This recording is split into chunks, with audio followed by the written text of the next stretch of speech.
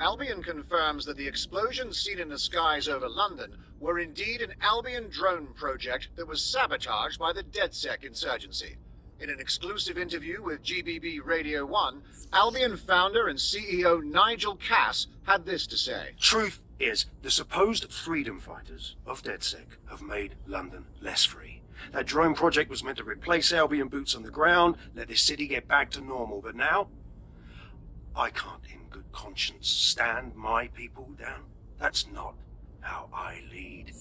Cass went on to implore listeners to treat any suspected DedSec operatives as terrorists and to immediately report them to Albion. Of course. We stop him from enacting his reign of terror, and Cass spins it into a sob story. His true talent isn't being a soldier, he's a salesman. And it's working. Sorry, that was too cheerful. Sadly, it's working. Too sad? It's what he does. Scares the shit out of people, then swoops in and plays the hero. We've got to show them what he really is. So that's his weakness, his image. If we shatter that, he falls apart. Funny you mention it. I had a thought about that. Show them Bagley. This is Claire Waters, political dissident and podcaster, reported missing after teasing a salacious upcoming episode. Sadly, it never aired, so all we have is this.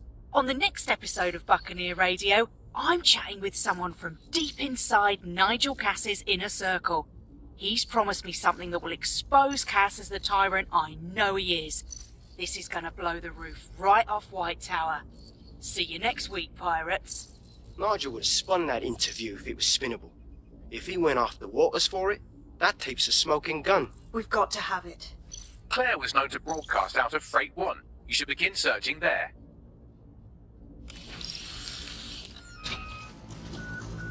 Claire used to broad Claire used to broadcast from somewhere around here. That's all I've got, I'm afraid. Bloody analog technology.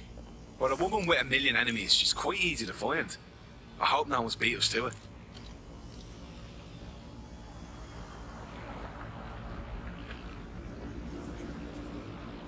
Military contractors on foreign streets, but not their own.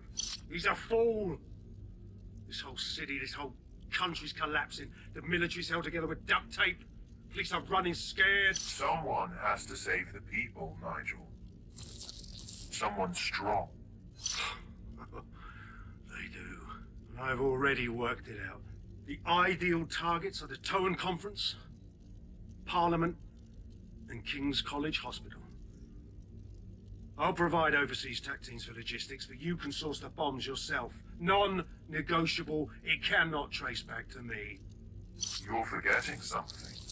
And I'll get you access to filament, as agreed. Now go away. Been working with Bugs on something, and something. And this proof is just the token we needed.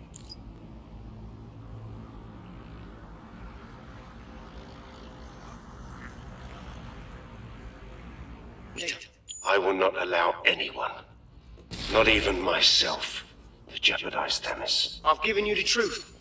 Do as you will. Actually, fuck that. Resist. Not bad, not bad if I do say so, innit? Hamish! Haha. Is that really you? In the flesh? Yeah, well, can't lock myself away from the world forever. Got a lot to make up for, don't I?